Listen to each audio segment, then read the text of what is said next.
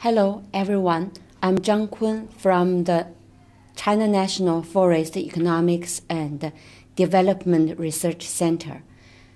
And I'm going to tell you about forest landscape restoration in southwest China. Nationally, China's conversion of cropland to forest program covers almost 30 million hectares and compensates 32 million families. I'm part of the team that monitors the program.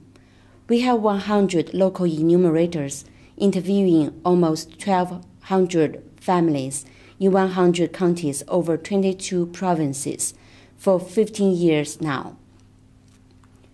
For the past few years, we have invited CIFOR researchers to come with us to the southwest provinces, Sichuan, Yunnan, Guangxi, and Guizhou and work with us to share what we've learned so far. Now, I'm going to zoom down to that regional level and tell you more about what the program looks like in the Southwest.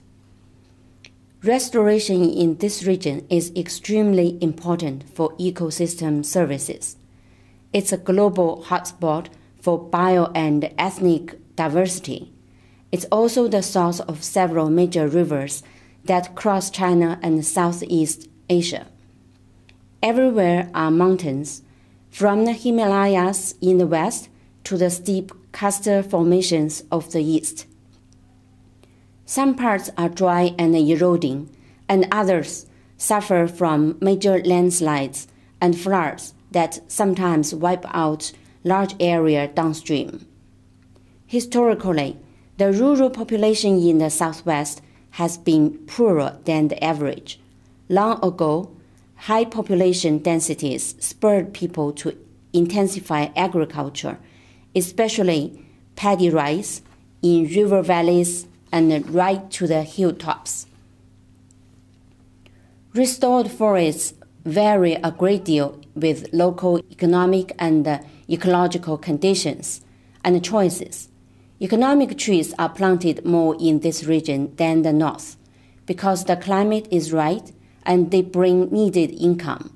These range from groves of walnut and chestnut, orchards of loquat and pomelo, eucalyptus and rubber in the south. Elsewhere, great stands of native Chinese hardwoods and conifers are growing for long term sustainable management. Since the CCFP was implemented, with the participation of over 10 million families in the region, forest cover in sampled counties of this region has increased by 15%, compared to 9% elsewhere. What makes such a large scale policy involving so many farm families work? First, the design of the program from extension to outreach to monitoring is highly coordinated among the government departments responsible for different sectors, such as planning, forestry, lands, finance. And this coordination goes from the central government to provinces, counties, and townships, and comes together at the village level. Second, local and higher level inspectors visit farmers' forest land each year to ensure compliance. If tree survivorship falls below 80%, subsidies are withheld until they comply. Importantly, the program has systems for transparency in land allocations, inspection results, and subsidy payments, with the information posted in villages or online to prevent misuse of the system.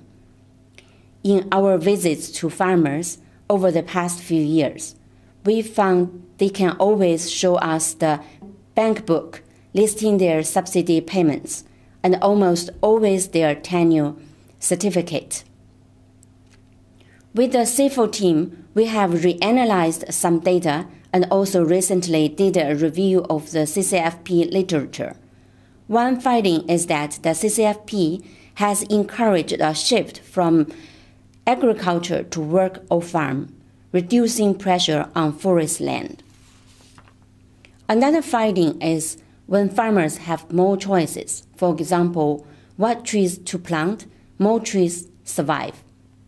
So, consultation, communication, and participation are key factors of success. The government is continuing to strengthen these areas. It is still hard to generalize about reduction of erosion and floods in the southwest because data are patchy. But many farmers interviewed report that there has been great improvement, and we think this is true. We've also been learning more about some of the problems in the program. In some places, selected species didn't grow well.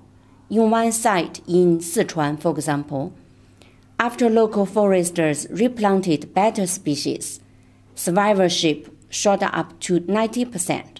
So, good site species matching is key.